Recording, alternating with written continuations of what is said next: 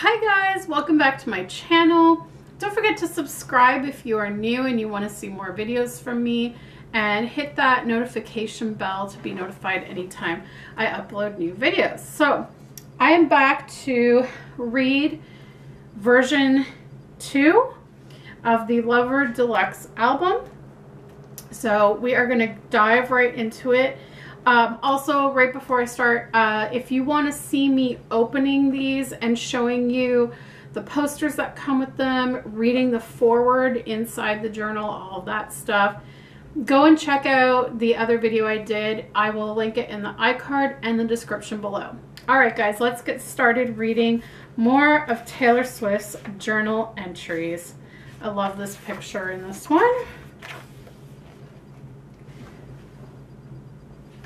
Okay, here we go. So we've got a picture of her at age 17, 21, and 17.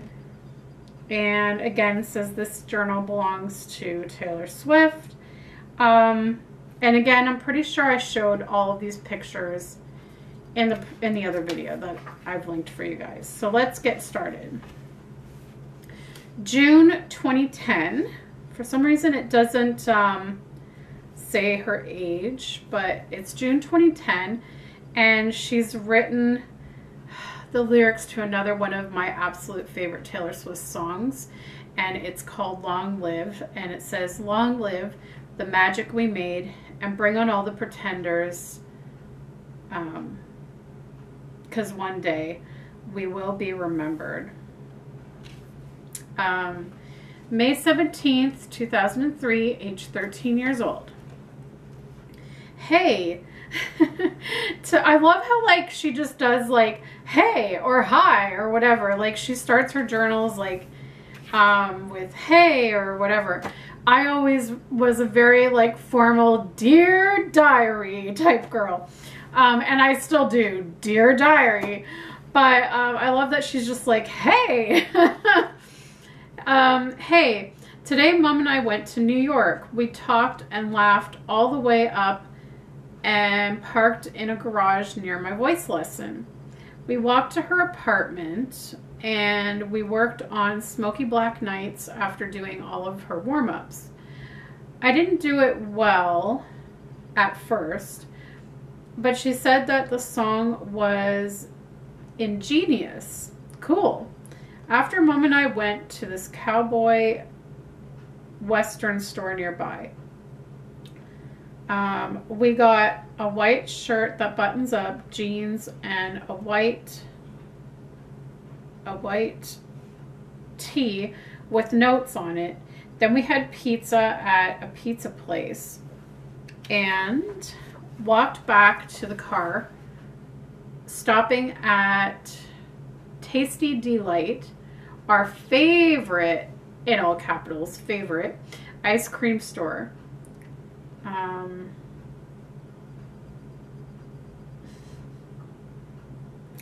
again, some of her handwriting is really hard to read.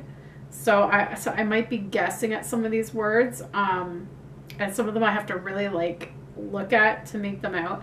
Um, it's funny because her handwriting actually reminds me a lot of mine in some parts where it's like part printing, part uh, um, cursive. And um, but in some parts she gets a little messy. Um, I think, okay, favorite ice cream store.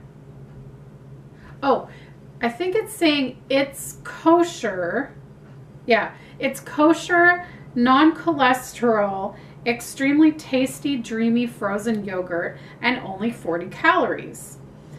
Uh, um, does it get any better than that? Okay, so I recently watched her documentary, Miss Americana, and I'm going to do a whole other video giving my thoughts and reviews on that. But I just have to say that one thing they touched upon in the documentary was that she had an eating disorder at one point. So it's really interesting to see that even at 13 years old, she was thinking about calories. Like, she was saying, oh, this frozen yogurt's only 40 calories.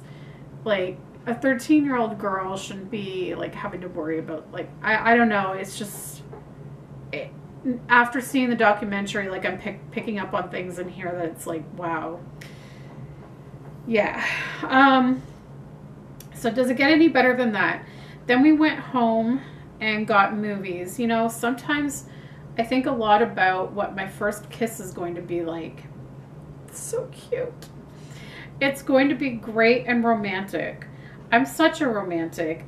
I just dream about looking into someone's eyes and feeling something I've never felt before, you know? so cute. I just never was able to put a face to my fantasy. But something tells me that my first kiss is really far away from happening because the guys in our school aren't even worth worrying about. the guys in our school are not even worth worrying about. They are all in it for one thing. And I think you know what that is, too. I guess I'll be okay without a first kiss. XOXO Taylor. Oh my god. so this one, it looks like she was using like um, a calligraphy pen. And this is June 5th, 2003, 13 years old. Hey, journal. I had to sing at the garden party today, so mom and I went to the field and got some of the equipment set up. Then we went home and I got ready. When we got there, all of my friends were there and they helped set up, kind of. I started my show, and in the first three chords of the first song, my guitar pick broke in half and flew out of my hands there was this huge silence. It was awful. I had to bend over and pick it up in front of everyone. and while I was singing, this guy was shouting stuff like, Go on, bitch, sing that country bullshit. Go on, motherfucker. like, what? Oh my gosh. Um, it was awful after the garden party, we all went to the Reading Hospital to visit Nanny. She looks worse every time we go. I sang I used to fly, a little more like you, and same girl for Nanny, and her roommate Penny. Penny has liver cancer and is bald from chemo. All of the nurses loved listening to it it went really well. Um, yeah, like, I can't believe someone was yelling stuff like that at a garden party. Oh my gosh, that's horrid. And to like a 13 year old girl at that. Who does that? Wow. Um, then we went home and I worked on a song called Not One Day. It's okay, but I don't know. November 5th, 2004, 14 years in Hendersonville. Hey, yesterday was Friday, and instead of going to the movies or something, I fell asleep. I needed it. This last week was crazy. Okay, so Capitol Records doesn't think I'm ready right now, and I could get a deal right now with them, but not the deal I would want. So on the other hand, there's Scott Borchetta, Okay.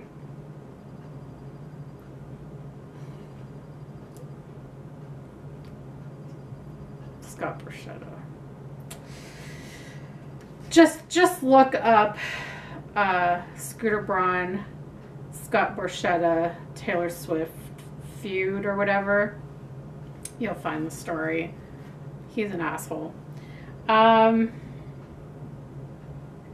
Okay, so anyways, like Scott Borchetta gave her the chance to start her career. Like there's I mean, that's great. Like I don't know if Taylor Swift would be where she is today without him taking her on.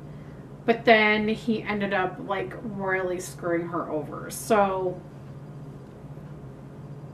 it's sort of like it reminds me very much of like Backstreet Boys and their manager Lou Pearlman who seemed like this great guy. And again, I don't know that Backstreet Boys would be where they are without him. But at the same time, again, like he also screwed them over. He was like creating competition for them. He stole money from them. I mean, like he was into like all kinds of like illegal activity and stuff. So yeah, he screwed them over as well. Um anyways, so on the other hand, there's Scott Borchetta, who we met with at Universal. And, you know, I really loved all the stuff he said in the meeting. And he stayed for the whole Bluebird show. And he's so passionate about this project. I think that's the way we're going to go. I want to surround myself with passionate people. I'm not sad about Capitol because I don't want to be lost on a big label like with RCA. Uh, November 29th, 2006, 16 years old, back in Nashville. And it says, I don't know what the, what is that? Something base? Something base 9 and BB 11? I don't know. I can't make out. I can't make out what that is. It's maybe like media base 9 and BB 11. I don't know what that means. Um, hey, so I just got in from Idaho Falls. I did a sold out show. Um, Hey, so I just got in from Idaho Falls. I did a sold out show in Oregon. I think that's Oregon. No. I did a sold out show in Ogden, Utah. I'm so bad. I, I, I don't know all the um, abbreviations for the states. Um, two nights ago, and then another in Idaho Falls last night. It was snowing in both places and freaking cold. Man, it was cold. So today we all piled in this huge van and drove to the airport in Salt Lake City, four hour drive. And me and mom were supposed to be flying to St. Louis for for Will Jingle Fest. W-I-L, I think that is. Jingle Fest. But Scott called me at the airport and said St. Louis is supposed to get 15 inches of snow. They're canceling the show. You have a day off. So we hopped on a flight to Vegas and we're supposed to have a four hour layover, but we found a flight that was just about to leave for Nashville and it was barely full. So we ran and caught that one and here I am in my own comfy bed. I have tomorrow off, so I'm going to go out to eat with Abigail. And for those who don't know, Abigail is her high school um, friend. Oh, and I'm dieting again. Here we go. See, like, this is where I was like, okay, like, she's mentioning eating a lot, like, dieting and stuff in her journals. And so it wasn't a complete shock to me when she like talked about having an eating disorder. Oh, and I'm dieting, dieting again. Over the holidays, I didn't watch what I ate. And man, it's so weird how fast I can gain or lose weight. It's crazy. So I'm going to lose some now. Taylor. So that kind of like,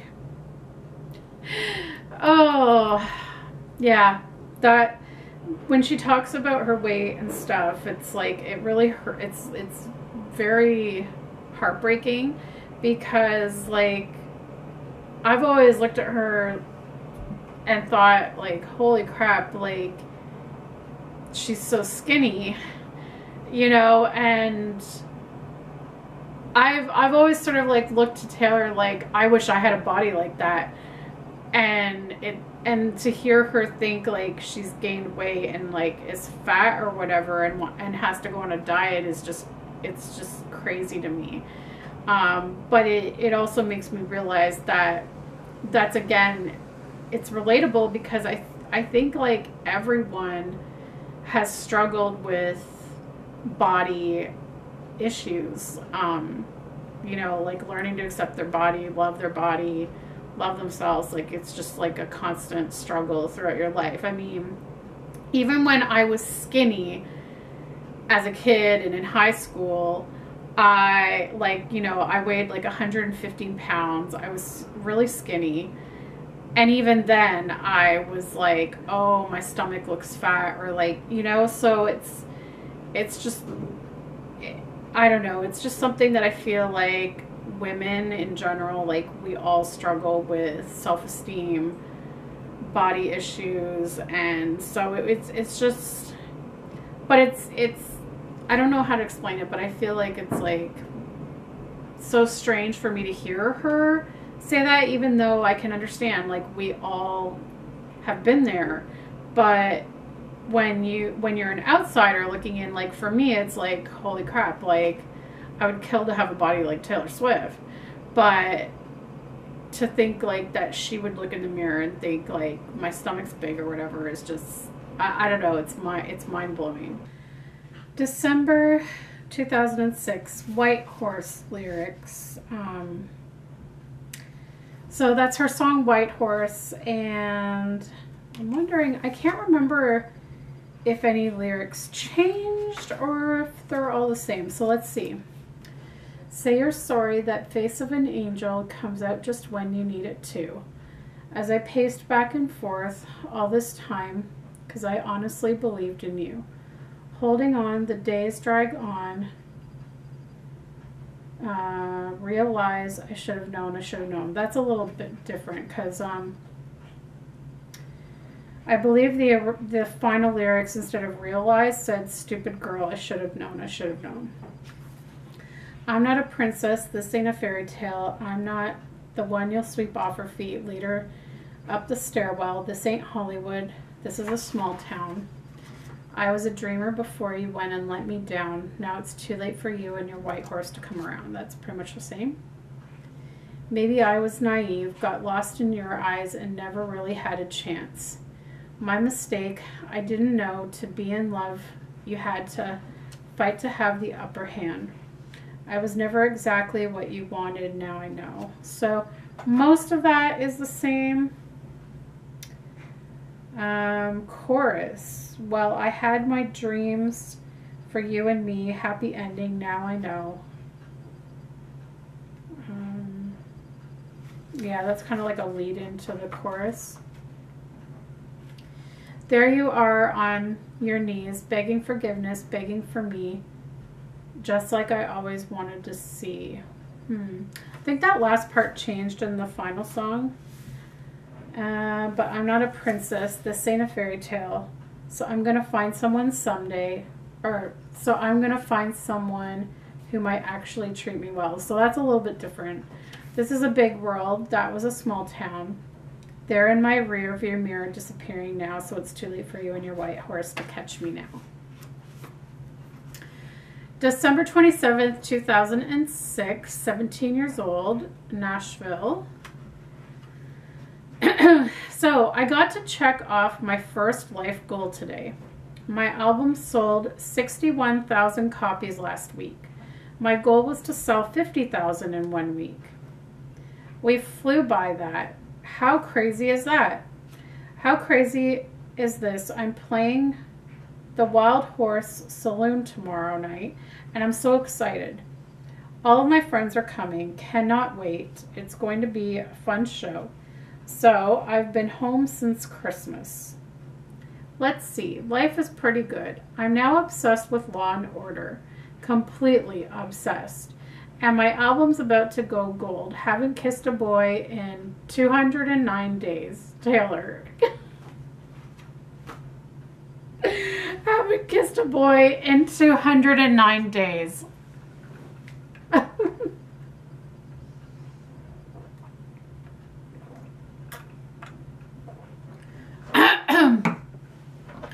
And the part of her saying she's obsessed with Law and Order is funny because um, she named her cat Olivia Benson after um, Law and Order character. March 17th, 2009, 19 years old.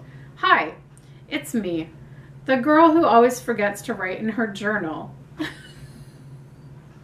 okay, that is hilarious because I am notorious for forgetting to write in my diary. And then I will have like days worth of stuff to write about. I'm still like, I'm still writing about stuff from last year. like, anyway. Oh yeah, her. I just got back from Australia. I was there for two weeks and it was amazing. Gorgeous there. So, what else has happened since I wrote? I was on the cover of Rolling Stone. My tour has sold out every venue, including Madison Square Garden in one minute and Staples Center in two. I somehow feel like it's my destiny to roll my eyes at happy couples and resent Valentine's Day.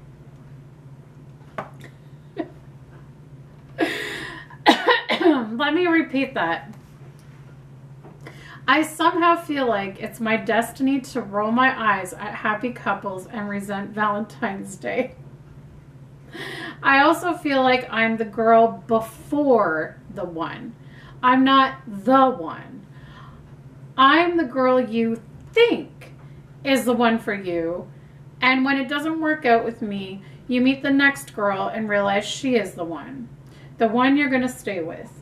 I might get married, but I think it's ultimately my fate to light candles and pine away and roll my eyes at happy couples and resent Valentine's Day.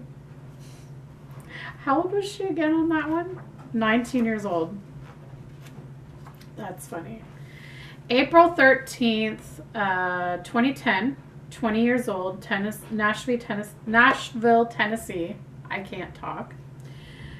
So I've been obsessing over the new record to the point where it's all I can focus on.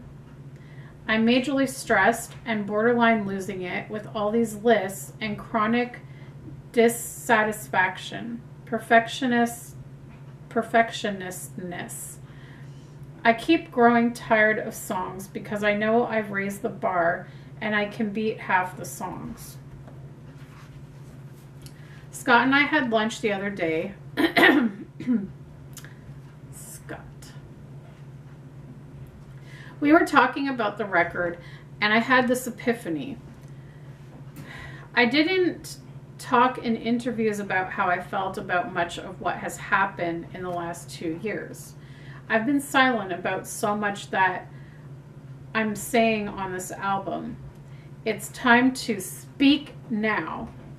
Scott freaked out. He loved it. We have a title, ladies and gentlemen. So that was when she did the Speak Now album, which she wrote that entire album by herself. Amazing album. June 17th, 2011, 21 years old, Nashville. Something so unexpected and amazing has happened recently. I've become blissfully happy with my life like actually grateful for every second of this day. I've noticed this onset for a while, but it's really hit me in the last week, and especially since I wrote two new songs. I really do need to create in order to live and feel worthwhile, but it's more than just that. I'm happy with my family. I'm happy about this tour. I'm happy that tomorrow morning I get on a plane to Pittsburgh, play a stadium of 60,000 people, then fly home. I'm happy that the next day I'm recording two new songs. I'm happy that I get to meet so many people on the road who make me feel like my music really matters to them. This ridiculous thing happens to me when I'm this happy.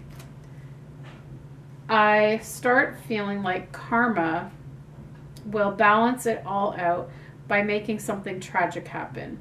But I'm trying to just show gratitude as much as I can. Every day, every minute, I'm grateful for being happy right this moment. I think I'm a summer person. I'm also a work person. Tour gives me something to pour myself into and a reason to feel okay about sleeping in until noon on my days off. Today I want to, sorry,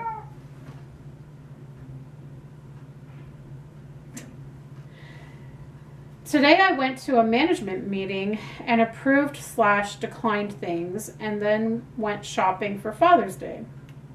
Tomorrow it might rain in Pittsburgh. I hope it doesn't. March 2nd, 2012, 22 years in Perth, Australia. So here we are in Perth. It's a beach town on the Indian Ocean and it's beautiful. Underlined. It's 85 degrees and sunny and yesterday I went to, um, yeah, trying to make out her letters again. Coddle slow back. Sorry if I messed that up, any people in Australia.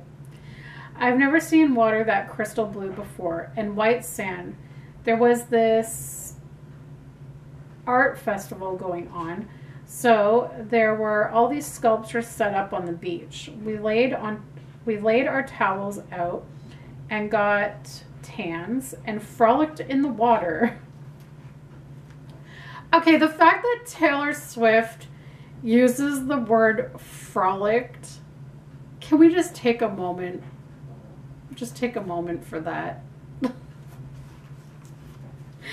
oh my gosh. Okay. After our beach afternoon, we went to this restaurant right as the beach, right on the beach called Indiana. It was built in 1910 and looked like an old fancy hotel. It's one of the most beautiful places I've been to with old with old world arches and moldings antique tables, and big French doors opening out to view to views of azure blue ocean. The fact, can we just take another moment of silence? And I mean, a Taylor Swift video wouldn't be complete with my cat, like, meowing like a lunatic.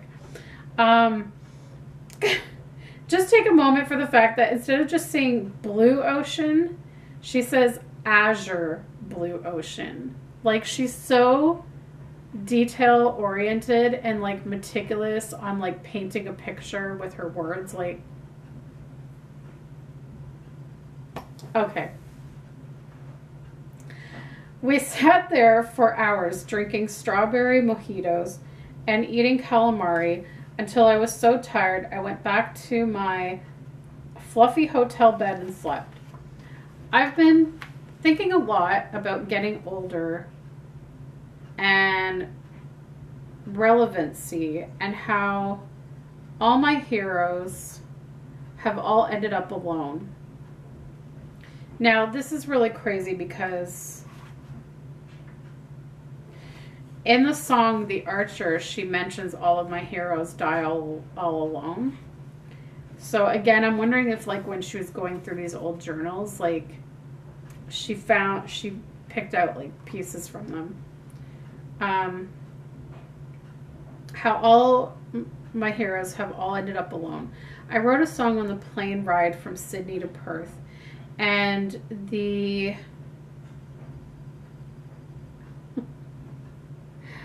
oh my god, I can't make out her writing at all and the Appalachian. What? I wrote a song on the plane ride from Sydney to Perth on the Appalachian.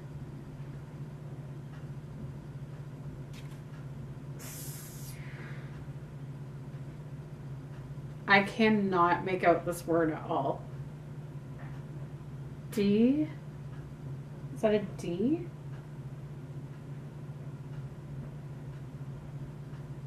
Dual, Dulcimer? I bought the days, or sorry, what? on the I bought the days. I am so lost. Okay. I apologize, people. It's really hard to read her writing sometimes. I wrote a song on the plane ride from Sydney to Perth on the Appalachian something I bought the day of my flight. I don't know. I bought it because Joni played on because Joni played on most of her blue record. Um What? Hold on a minute. Wait, I think I'm getting it. I think I'm understanding. Okay. So it's, I'm, I'm guessing it's some sort of instrument that she bought. And she bought it because Joni Mitchell played this instrument for most of her blue record, is what I'm understanding. I taught myself to play A Case of You anyway. I wrote a song on it called Nothing New, and it's about being scared of aging and things changing and losing what you have. It says, I'm getting older and less sure of what you like about me anyway. And in the chorus, it says, How can a person, how can a person know everything at 18 and nothing at 22? And will you still want me when I'm nothing new? It's a really vulnerable song, but I think it's important to say. Oh, I wish we could hear that song because that's a song she never released or recorded or whatever. February 22nd, 2014, 24 years old in LA. This week, I've been in the studio with Max and Johan every day, and it has been the most creatively successful and fulfilling time. The first day, Johan just made a really up-tempo drum beat because we decided we needed something up and light. We worked at it for a few hours before I just started singing Shake It Off, Shake It Off. And then the best way I knew how to describe it is that the chorus just fell out of the sky it ended up being this song about doing your own thing, even though haters are going to hate, and you just have and you just have to dance to your own beat. We all went home and I wrote the first and second verses and brought them in the next day. We wrote this chanty cheerleader bridge that I absolutely love we spent all day doing vocals and the next day recording background vocals. I think it will end up being the first single. And Max said it's his favorite song he's ever been a part of. August 29th, 2016, 26 years old in Nashville. And all she wrote was, The summer is the apocalypse. And I believe that was the I think that was around the time that the whole thing with Kim Kardashian and Kanye West was going down. And everyone was calling her a snake. And then she decided to like disappear for a year. Um, that's probably why she says this summer is the apocalypse. And that's literally all she said. And that brings us to the end of volume two. And we see some more amazing pictures. There's little Olivia Benson.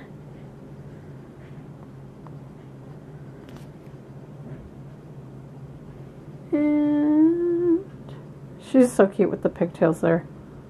Oh my gosh, I love the I love this picture of her with the like teddy bear um hat scarf thing. Like, this is one of the things I love about Taylor is how nerdy she is because, like, I'm the same way. So that's really cool. Um, And then we go into the blank pages, blank space, lyric reference um, to write in.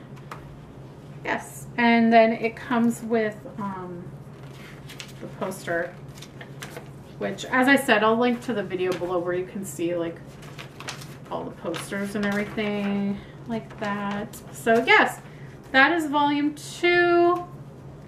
Stay tuned for volume three. I don't know um, if I'll do it this week. I might take a break.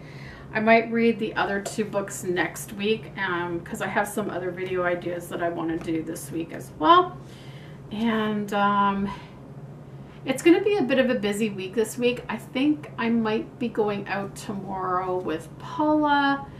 And then the next day is my visit for fingers crossed. Hopefully I will get the job. Um, so I'll be doing my three hour visit and I'll get paid for it, which is great.